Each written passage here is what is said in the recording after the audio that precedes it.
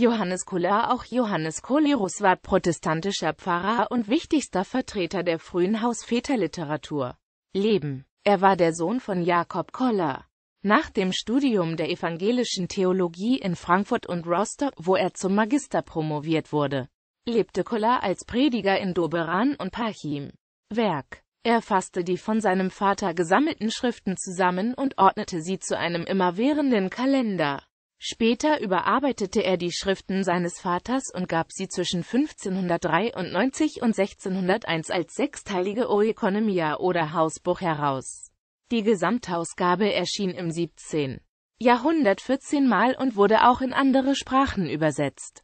Seine Schriften umfassen nicht nur landwirtschaftliche Ratschläge und Rezeptsammlungen, sondern auch Verhaltensregeln. Diese Verhaltensregeln waren sehr lutherisch geprägt und wurden, nach seinem Tod, in späteren Ausgaben verändert. Sein Werk gibt heute einen umfassenden Überblick über das Leben vor dem Dreißigjährigen Krieg. Schriften M. Johannes Collery Underteil zum Kalendario gehörig. Punkt von vornehm großen Haushaltungen. Paul Hellwichen, Wittenberg 1607. O Economia Ruralisse Domestica. Band 1, Mainz 1645